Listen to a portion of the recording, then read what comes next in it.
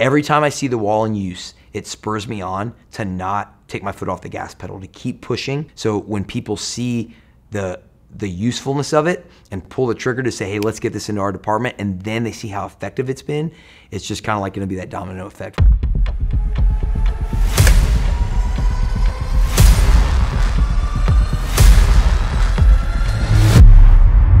Rugged PI was started because of the Wunder Wall. As a strength conditioning coach for the last 20 years, you know, always thinking about different exercises and always looking at a population that you work with and saying, hey, what can I do? What can I, what equipment can I use to train them that's going to specifically impact what their role is?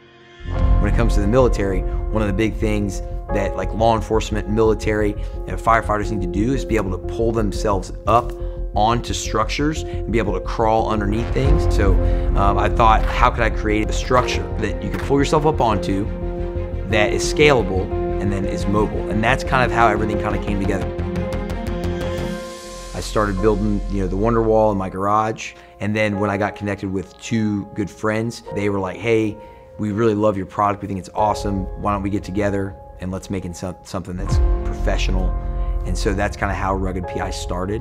The Wunder Wall that we see today is, you know, like version 10. It just really evolved quickly from one manufacturer to the next. And that's what we see today is the Wunder Wall made of steel, plastic, it'll put it in a hurricane, it'll last for a long time.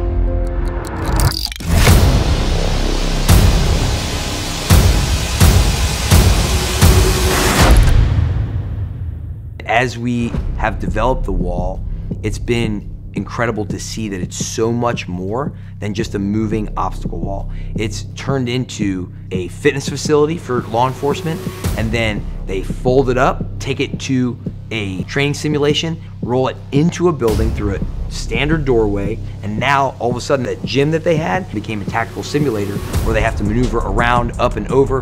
They take it and they can use it as a backstop for shooting sim rounds so that they're not damaging any of the building. It's something that has been really cool to see and that the law enforcement and everybody who's used it has just been amazed by that something that seems so simple can do so many different things.